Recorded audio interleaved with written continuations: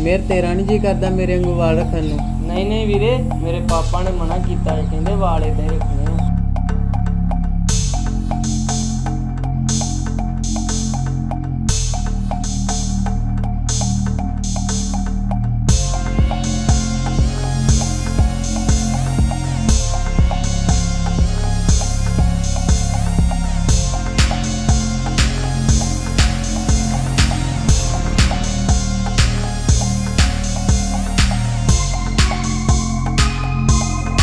ਚੱਲ ਵੀ ਮੇਰ ਲੈ ਰੱਬ ਦਾ ਨਾਮ